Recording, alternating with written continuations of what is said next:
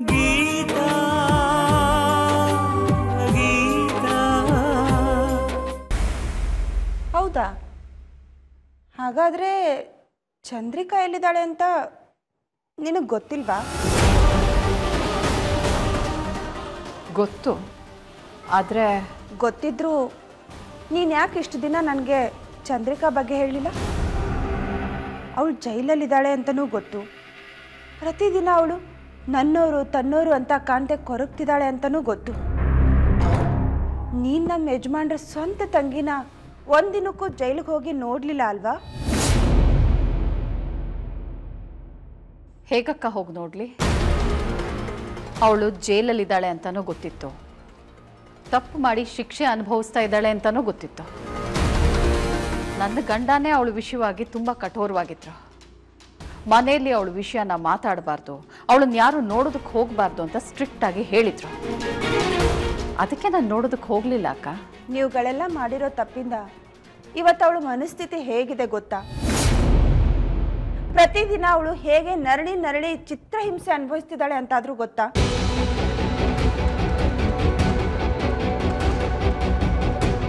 ಜೈಲಲ್ಲಿ ಅವಳು ಸೂಸೈಡ್ಗೂ ಟ್ರೈ ಮಾಡಿದಾಳೆ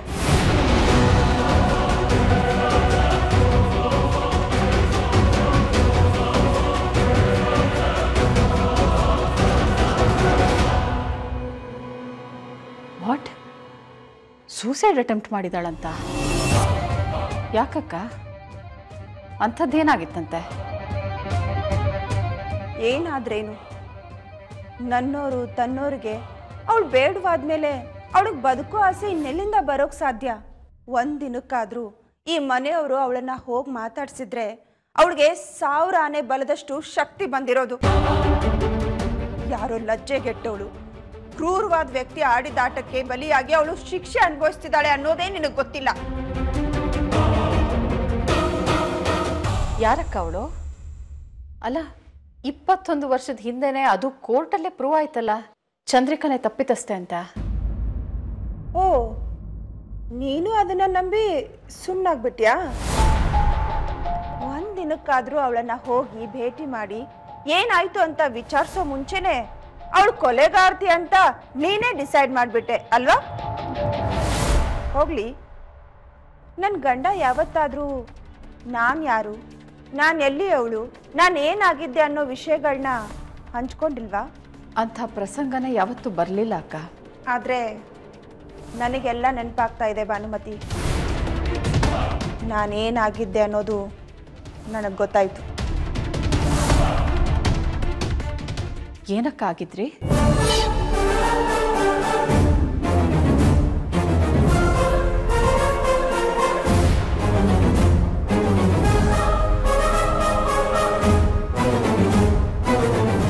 ಅಡ್ವೋಕೇಟ್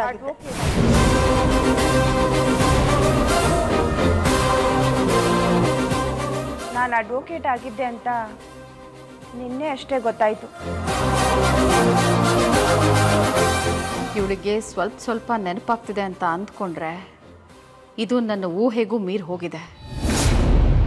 ಇದಕ್ಕೆಲ್ಲ ನೀನೇ ಕಾರಣ. ಅಮ್ಮ ಅಮ್ಮ ಪಾರ್ಟಿ ಆಫೀಸ್ಗೆ ಟೈಮ್ ಆಗ್ತಿದೆ.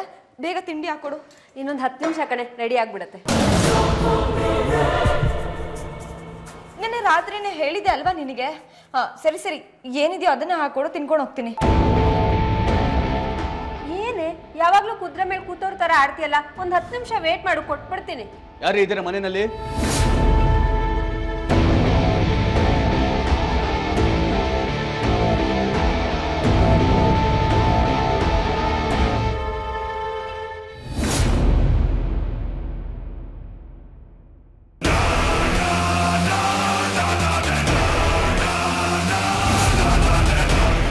ಸರ್. ಹಲೋ ಭವಾನಿ ಹೇಗಿದ್ಯಮ್ಮ ನಾನು ಚೆನ್ನಾಗಿದ್ದೀನಿ ಸರ್.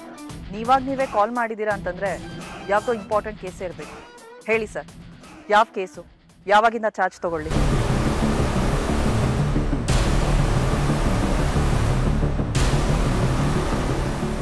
ಭರ್ಜರಿಯಾಗಿ ರೆಡಿ ಆಗಿದೆಯಾ? ಮೇಡಮ್ ಯಾರು ನೀವು?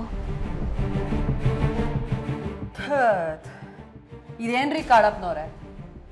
ಸಿವಿಲ್ ಡ್ರೆಸ್ ಅಲ್ಲಿ ಇದ್ರೆ ಜನಗಳು ನಮ್ಮನ್ನ ಐಡೆಂಟಿಫೈ ಮಾಡಲ್ಲ ಓಕೆ. ದೇವಸ್ಥಾನಕ್ಕೆ ಹೋಗ್ತೀನಿ ಅಂತ ಹೇಳಿ ನಮಗೆ ಪ್ರಸಾದ ಕೊಟ್ಟು ಚಂದ್ರಿಕನ ಹತ್ರ ಹೋಗಿ ಬಂದ್ಲಲ್ಲ? ಹೋಗು ಹೋಗು ಹೋಗು ತಂಗೆವ ಹೋಗಿ ಈ ಸಾಧನೆ ಮಾಡಿರೋ ಅವಳಿಗೆ ಆರತಿ ಎತ್ತಿ ನೀನು ಅವಳಿಗೆ ಶಾಬಾಸ್ಗಿರಿ ಕೊಟ್ಟು ಬಾ, ಹೋಗು.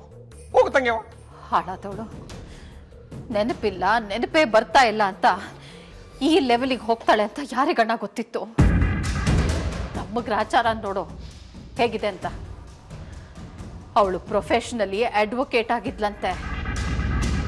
ನೀನು ಯಾವಾಗಲೂ ಹೇಳ್ತಾ ಇದೆಯಲ್ಲ ಇವಳು ದೊಡ್ಡ ಲಾಯರ್ ಥರ ಲಾ ಪಾಯಿಂಟ್ ಹಾಕ್ತಾ ಇರ್ತಾಳೆ ಅಂತ. ಅವಳು ನಿಜವಾಗ್ಲೂ ಲಾಯರ್ ಆಗಿದ್ಲಂತೆ.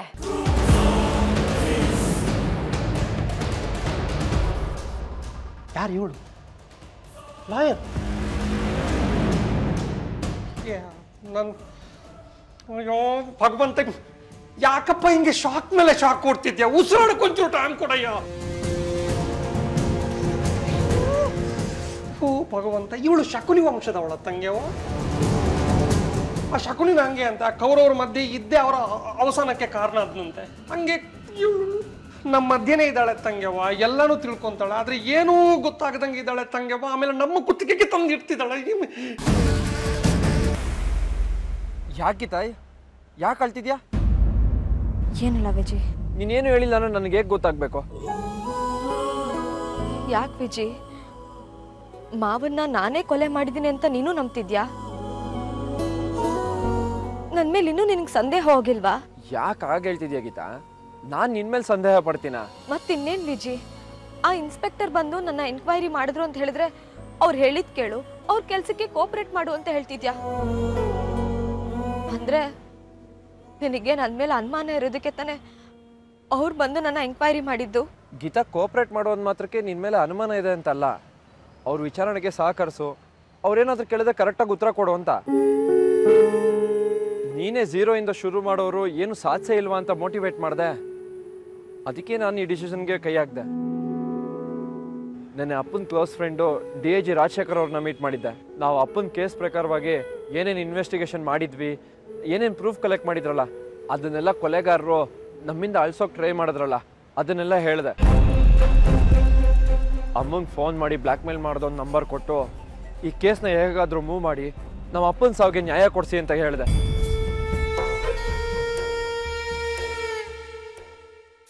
ಈಗಲೂ ಆ ಸುಧಾರಣೆಗೆ ನೀನು ಅಂತಂದ್ರೆ ಅದು ಎಷ್ಟು ಭಯ ಇದೆ ತಂಗಿಯವ ಅದೇನು ಹವಾ ಮೇಂಟೈನ್ ಮಾಡಿದ್ಯಾ ತಂಗಿಯವ ನೀನು ನೀನು ನಿಂತ್ಕೊ ಅಂದರೆ ಸಾಕು, ನಿಂತ್ಕೊಂಡ್ಬಿಡ್ತಾಳೆ.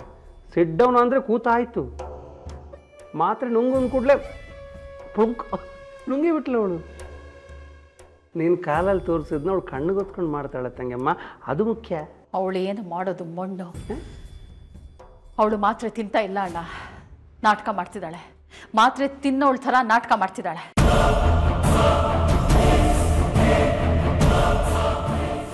ಇಲ್ಲ ತಂಗಿ ಏನು ಮಾತಾಡ್ತಿದ್ಯಾ ನೀನು? ಏ ನಾನೇ ನೋಡಿದ್ದೀನಿ ತಂಗಮ್ಮ ಅವಳು ಮಾತ್ರೆ ಕುಡಿಯೋದು. ನಮ್ಮ ಮುಂದೆನೇ ತಾನೆ. ಅವಳು ಮಾತ್ರೆ ಬಾಯಿಗೆ ಹಾಕಿ ನೀರು ಕುಡಿದಿದ್ದು. ಹೌದಣ್ಣ. ಅವಳು ನಮ್ಮ ಎದುರಿಗೆ ಮಾತ್ರೆ ತಿನ್ಲು. ಆದರೆ ನಾವು ರೂಮಿಂದ ಹೊರಗೆ ಬರ್ತಿದ್ದ ಹಾಗೆ ಮಾತ್ರೆನ ತೆಗೆದು ಬಿಸಾಕಿದ್ದನ್ನ ನಾನು ನನ್ನ ಕಣ್ಣಾರೆ ನೋಡಿದ್ದೀನಿ. ಅಷ್ಟೊಂದು ಚಾಲಕಿನ ತಂಗಿ ಇವಳು?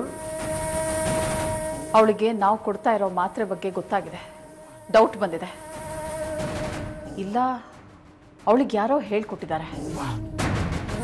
ಅದಕ್ಕೆ ಝೀರೋ ಫಿಗರ್ ಅಂತ ಹೇಳ್ತಾರೆ ಅಲ್ವಾ ತಂಗಮ್ಮ ಅದು ಈ ಪ್ಯಾಟೆ ಮಂದಿಗೊಂದು ಶೋಕಿ. ಹೊಟ್ಟೆ ತುಂಬ ತಿನ್ನೋಕಿದ್ರು ಹೊಟ್ಟೆಗೆ ಇಟ್ಟಿಲ್ದಿರೋ ಹಂಗೆ ಇಷ್ಟಿಷ್ಟೇ ತಿನ್ನೋದು. ಏ ನೀನೊಂದು ಕೆಲಸ ಮಾಡು.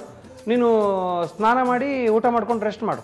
ಅದಕ್ಕಿಂತ ಮುಂಚೆ ದಯವಿಟ್ಟು ಹಲ್ಲುಜ್ಜು ಹ್ಞೂ ಆಗ್ತಿಲ್ಲ ಸಹಿಸ್ಕೊಳಕ್ಕಾಗಿಲ್ಲ ಅದು room number zero one seven ನಿಂದು. ಹೋಗು. ಸದ್ಯಕ್ಕೆ ಅಲ್ಲೇ ಚೆಕ್ ಇನ್ ಆಗು ಆಮೇಲೆ ನೋಡೋಣ. ಓಕೆ ಗಾಟ್ ಇಟ್ ಕೂಲ್ ಅಣ್ಣ ಆ ದೇವರು ನಮ್ಮ ಪಾಲಿಗಿದ್ದಾನೆ ಅನ್ನೋದಕ್ಕೆ ಇದೇ ಸಾಕ್ಷಿ. ಇವನು ಬಂದಿದ್ದು ಒಳ್ಳೆಯದೇ ಆಯಿತು. ನಮಗೊಂದು extra hand ಸಿಕ್ಕಿದಾಗಾಯಿತು. Master of arts in criminology ಸ್ವಲ್ಪ ಟ್ಯೂನಪ್ ಮಾಡಿದ್ರೆ ಈಸಿಯಾಗಿ ನಮ್ಮ ದಾರಿಗೆ ಬರ್ತಾನೆ. ನೀನು ಆದಷ್ಟು ಇವನಿಗೆ ಬೂಸ್ಟಪ್ ಮಾಡು. ಯಾರು? ನಾನು? ಮಾಡುವ. ಮಾಡುವ ತಂಗಿವ. ಇವನಿಗೆ ನಾವು ಡಬಲ್ ಡೋಸ್ ಬೂಸ್ಟರ್ ಕೊಡಿಸೋಣ.